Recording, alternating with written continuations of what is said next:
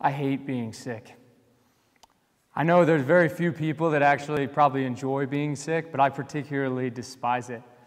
When I used to work a nine to five, I would kind of pride myself on never taking a sick day. I would sort of just power through and get to the weekend and be sick then. People would ask me, like, oh, are you feeling well or what's going on? And my responses were always something along the lines of, you know, I'm just, I'm a little run down, or um, the, um, it's probably the weather, might just be my allergies. Or the other one, it's in the rear view. Oh, you know, I was sick, but I'm, I'm getting better. Yeah, I'm, I'm on the mend. It's totally fine.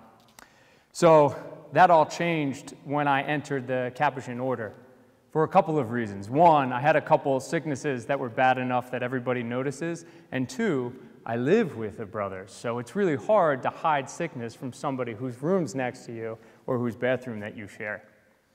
So when I first read the rule, I didn't understand why Francis felt the need to put in the following.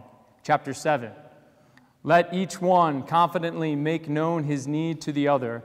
When any brother falls sick, the other brothers must serve him as they would wish to be served. What? No, no, no, no. I joined the order to help people. I joined the order to live a life of maybe asceticism, to grow closer to God, to be in prayer. I didn't join the order to get helped by other people. That wasn't the deal. So I questioned when I read it why would Francis even put that there? Like, why, why does he have something along those lines? I mean, he was a very ascetical guy. I don't, there's plenty of sicknesses that go along with it. So, why does he put in the fact, well, you have to be taken care of by the brothers? My own personal experience, the truth behind me not liking being sick is that I don't like being weak. I don't like not functioning. I don't like needing to rely on other people.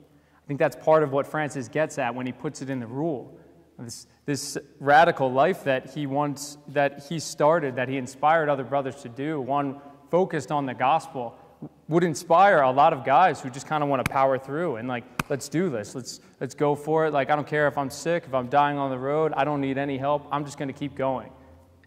That's not what we're looking for here. That's not what Francis was going through. It's right there in the title. We're the order of lesser brothers. Lesser brothers sometimes have to be cared for. It's part of the, uh, the title of lesser brother that I'm not necessarily the biggest, uh, you know, um, I'm not very fond of it. Brothers for Others is definitely one I like. That's a good one. It's, it's catchy and uh, it, it shows that I'm helping other people. But to be a lesser brother means I have to be called to try to accept help when it's needed, especially when I'm sick, especially when I'm not functioning the way that I think I should be functioning. And this goes through for the rest of all Christians because ultimately, any idea that a Christian has of being self made or unstoppable or never being sick, one, probably doesn't happen because at some point they do fall and they do get sick and they do need help. I know no person that has done all of this on their own and two, because in the grand scheme of things, I do not hold my existence here. God gave me every good thing that I possibly have. Francis talks about that time and again. Any good thing I can possibly accomplish comes through what God works through me. And that's what we're going for. That's what every Christian should be going for. And even Christ himself would never say that I, you know, Christ came to save man and all that, but he lives in himself in a relationship. He lives within the Father through the power of the Holy Spirit. The fact that it's a relationship of Trinity in one shows that it's not necessarily just this one being that doesn't need to subsist with others. And we're called in the image of God to emulate that in our way. And the way we do it and the way we try to do it um, through Francis is to be lesser brothers and to accept the help from other people and to accept the help, especially from our brothers, especially when we need it.